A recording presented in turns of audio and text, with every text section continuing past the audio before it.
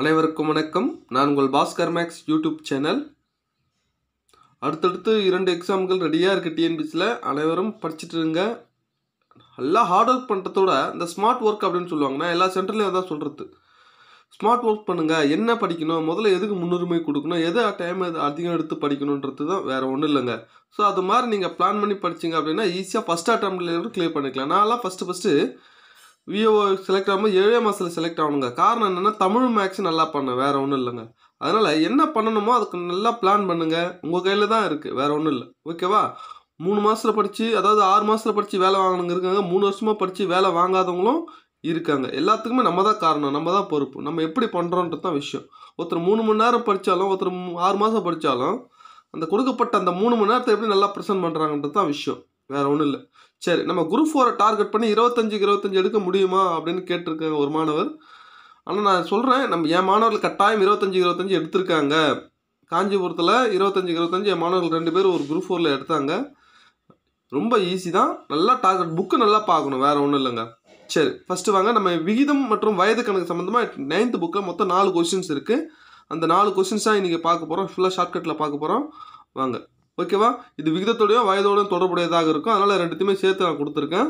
First கேள்வி பாருங்கள் இரண்டு எண்கள் விகிதம் அஞ்சு இஸ்ட்டு ஆறு என்ற விகிதத்தில் உள்ளது.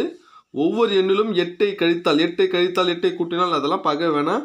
அவற்றின் விகிதம் எவ்வளோ நாலு இஸ்ட்டு அஞ்சு அஞ்சு இஸ்ட்டு ஆறு. எனில் அந்த எண்களை காண்க அப்படின்னு சொல்கிறாங்க முதல் ரெண்டு எண்ணோட விகிதம் எவ்வளோ அஞ்சு இஸ்ட்டு ஆறு. அதனால் அஞ்சு இஸ்ட்டு ஆறுன்னு போடுறேன். அடுத்து எட்டை கழித்தால் புதிய விகிதம் என்ன? நாலு இஸ்ட்டு அஞ்சு அப்படின்னு போடுறேன். ஓகேவா? இது ரெண்டுத்து கழிச்சோ கூட்டினாலே டிஃப்ரென்ஸ் வந்து எட்டுன்னு தெரிஞ்சு போச்சு. சரி அஞ்சுக்கு நாலுக்கு டிஃப்ரென்ஸ் என்ன?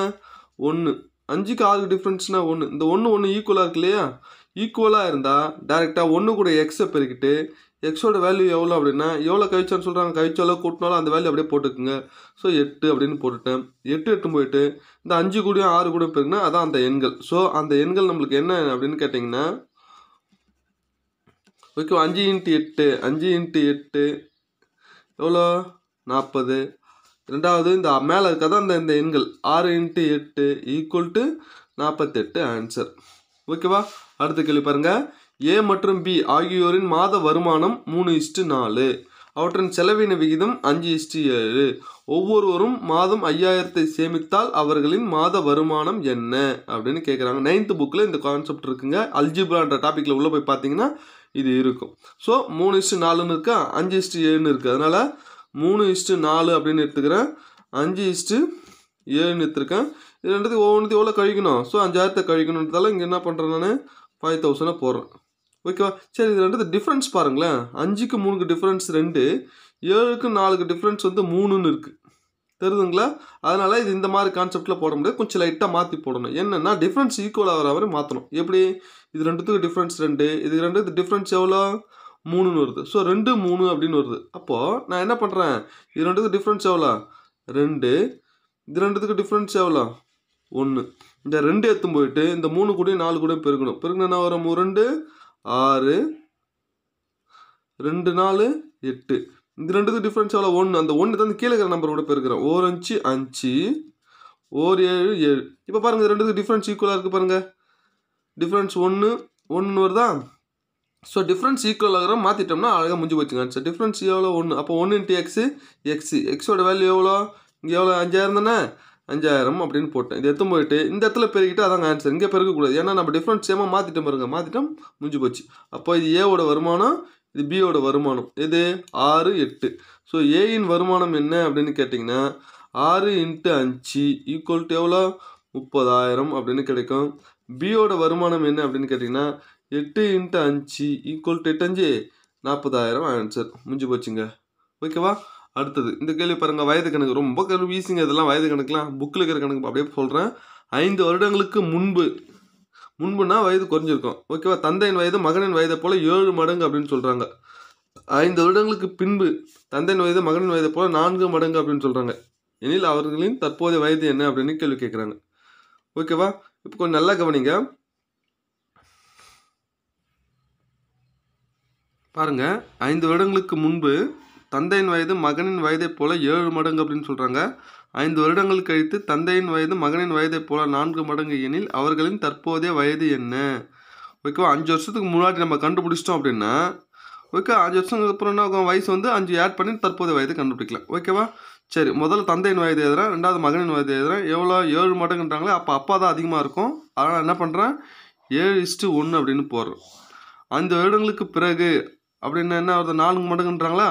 ஸோ நாலு இஸ்ட்டு ஒன்றுன்னு போகிறோம் ஸோ ரெண்டுத்துக்கு எவ்வளோங்க டிஃப்ரென்ஸ் அப்படின்னு கேட்டிங்கன்னா அஞ்சு வருஷத்துக்கு முன்னாடி அஞ்சு வருஷத்துக்கு முன்னாடி டோட்டலாக எவ்வளோ பத்து வந்து டிஃப்ரென்ஸாக இருக்குது தெரிஞ்சுங்களா ஏன் பத்து போகிறேன்னு தற்போதைய வயது இந்த இடத்துல இருக்கும். ஓகேங்களா? அஞ்சு வருஷத்துக்கு முன்னாடி ஒரு அஞ்சு அஞ்சு வருஷத்துக்கு பின்னாடி அப்படின்னு சொல்கிறாங்க ரெண்டுத்தையும் சேர்த்து பத்து அப்படின்னு போட்டேன். இது ரெண்டுக்கும் டிஃப்ரெண்ட் இது கழிச்ச ஏழு நாலு பட்சம் நான் மூணு ஒன்றில் ஒன்று பட்சம் ஜீரோ சமமாக வரல. அதனால் நான் என்ன பண்ணுறேன் இதுக்கு டிஃப்ரென்ஸ் மூணு எடுக்கிறேன். இதுக்கு டிஃப்ரென்ஸ் எவ்வளோ? ஆறு எடுக்கிறேன். மூணு ஏழு பெருக்கணும்னா மூணு இருபத்தி ஒன்று ஒரு மூணு மூணு. ஆறு நாள் இருபத்தி நாலு ஆறு இருபத்தி மூணோட பிறகுனா ஆறு. இப்போ பாருங்கள் டிஃப்ரென்ஸ் ஈக்குவலாக இருப்பாங்க ரெண்டுத்துக்கும் எவ்வளோ டிஃப்ரென்ஸு இங்கே மூணு இங்கே மூணு. அதாவது மூணு எக்ஸ் மூணு எக்ஸ் அப்படின்னு கிடைக்குது. ஓகேவா? இந்த மூணு எக்ஸை பத்துக்கு சமப்படுத்துகிறேன் மூணு எக்ஸ் ஈக்குவல் டு பத்து அப்படின்னா எக்ஸோட வேல்யூ பத்து பை மூணு அப்படின்னு இருக்குது ஓகேவா? ரைட் கிடச்சிருச்சு. இப்போ எத்தனை போயிட்டு இது கூட பிறகுனா யாரோட வயசு கிடைக்கும்?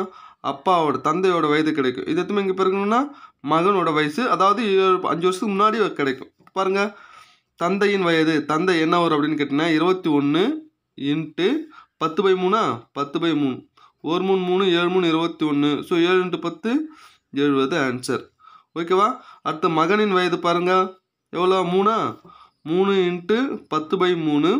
கேன்சல் ஆகிடுச்சு அப்போ என்ன ஒரு ஆன்சரு பத்து. அப்போது ஏழு வருஷத்துக்கு அதாவது அஞ்சு வருஷத்துக்கு முன்னாடி எழுபது பத்து ஏழு மடங்கு தான் சொல்கிறாங்க கொஸ்டின்ஸில் ஸோ எழுபது பத்து. ஏழு மடங்கு இருக்கா? இது மாதிரி மகன் இது மேலே ஏழு மடங்கு இருக்குது ஓகேவா ஆனால் தற்போதைய வயசுன்னு கேட்குறாங்க தற்போதைய வயசு என்ன அப்படின்னு கேட்டிங்கன்னா தற்போதைய வயது ரெண்டு பேருக்கும் வேணும் அப்படின்னா அஞ்சு வருஷத்துக்கு முன்னாடி இந்த வயசு. இப்போ தற்போது என்ன இருக்கும் அப்படின்னா அஞ்சு வயசு கூடி இருக்கும் இல்லையா? ஸோ தந்தைக்கு வந்து எழுபத்தி அஞ்சு அப்படின்னு மாறும். மகன் வந்து பதினஞ்சு அப்படின்னு மாறும். வேறு ஒன்றும் இல்லைங்க. ஓகேவா? இது புக் ஆன்சர் தப்பாக இருக்கும். கொஞ்சம் நல்லா பார்த்துக்குங்க. புக் ஆன்சர் படி பிரகாரம் போடாமல் எண்பது முப்பதுன்னு கொடுத்துருப்பாங்க. எண்பது முப்பதுன்னு கொடுத்தாங்கன்னா அஞ்சு வருஷத்துக்கு முன்னாடி என்ன ஆகும் எழுபத்தஞ்சு இருபது அப்படின்னு மாறும். அது ஏழு மடங்கா? இல்லை. அதனால் கொஞ்சம் நல்லா பார்த்துக்குங்க. ஓகேவா? அடுத்து பாருங்க. ராமனின் வயது அவருடைய இரு மகன்களின் வயதுகள் கூடுதலை போல மூன்று மடங்காகும் அப்படின்னு சொல்கிறாங்க ஐந்து ஆண்டுகள் கழித்து அவரின் வயது தனது மகன்களின் கூடுதலை போல ரெண்டு மடங்கு. எனில் ராமனின் தற்போதைய வயது என்ன அப்படின்னு கேட்குறாங்க ராமன்னா அப்பா. ஓகேவா? எத்தனை மடங்கு? மூன்று மடங்கு. இதை நான் மூணு இஸ்ட்டு ஒன்று அப்படின்னு போடுறேன். ஓகேவா? ஐந்து ஆண்டுகள் கழித்து அப்படின்னு சொல்கிறாங்க வயதுகளின் கூடுதல் போல் ரெண்டு மடங்கு அப்படின்றாங்க. ரெண்டு இஸ்ட்டு ஒன்று அப்படின்னு போடுறேன். இது ரெண்டுத்துக்கு டிஃப்ரென்ஸ் பாருங்கள் மூணுக்கு ரெண்டுக்கு ஒன்று டிஃப்ரென்ஸு இதுக்கு இது டிஃப்ரென்ஸு வேறு வேறு இருக்குது அதனால் இதுக்கு எவ்வளோ? ஒன்று இது எவ்வளோ? ரெண்டு. இந்த ஒன்று எத்தும் போயிட்டு மூணு கூட பெருக்கணும்னா மூணு ஒன்று ரெண்டு எத்தும் இது கூட பெருக்கணும்னா நாலு ரெண்டு இப்போ பாருங்கள் ரெண்டுக்கு டிஃப்ரென்ஸ் ஈக்குவலாக இருக்கா? எவ்வளோ இருக்குது ஒன்று இருக்குது ஒன்று இருக்குது இந்த எக்ஸ் ஈக்குவல் டு ஒரு எக்ஸ் ஈக்குவல் டு இங்கே பாருங்கள் ஐந்து ஆண்டுகள் கழித்து அப்படின்னு சொல்கிறாங்க இல்லையா? அப்போது அப்பா மகன் சொன்னால் இங்கே அஞ்சுன்னு எடுத்துக்கணும். பட் இங்கே அப் இரு மகன்கள் அப்படின்னு சொன்னால் மொத்தம் மூணு பேர். ஸோ மூணு இன்ட்டு அஞ்சு ஈக்குவல் டு பதினஞ்சு அப்படின்னு எடுத்துக்கணும். அப்போ எக்ஸோட வேல்யூ எவ்வளோ? பதினஞ்சு. ஸோ அப்பா மகன் மட்டும் கொடுத்துருந்தாங்கன்னா வெறும் அஞ்சுன்னு எடுத்துக்கணும். ஆனால் அதுக்கப்புறம் எத்தனை பேர் கொடுத்துருந்தாலும் எத்தனை பேரோட வயசு அப்படியே ஆட் ஆகும் இல்லையா? அதனால் பதினஞ்சுன்னு எடுத்துக்கிறேன். இந்த பதினஞ்சு எத்தனை போயிட்டு இங்கே பெருக்கணும்னா அது இங்கே பெருக்கணும்னா மூணு இன்ட்டு பதினஞ்சு எவ்வளோ? நாற்பத்தி அஞ்சு. ஸோ ராமனுடைய வயசு நம்மளுக்கு கிடச்சி போச்சு. ராமன். ஓகேவா? அவ்வளோதாங்க. நம்ம நைன்த்து புக்கில் இருக்கிற விகிதம் மற்றும் வயது கணக்கோட தொடர்புடைய நான்கு கணக்குகள் இப்போ நம்ம பார்த்துருக்கோம். ஓகேவா? ரைட்டுங்க வாழ்த்துக்கள். தேங்க்யூ நல்லா படிங்க. All the best